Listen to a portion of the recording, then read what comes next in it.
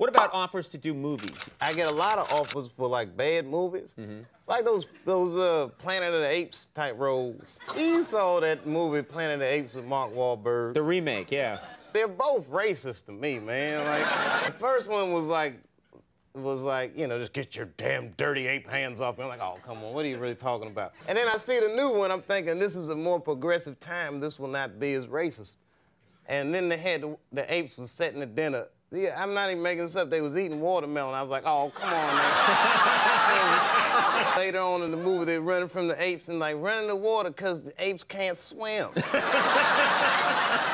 like, oh, word. But see, these apes can talk, and, but they can't swim. At the end, it's like when I seen the ape smoking a Newport, I just got up and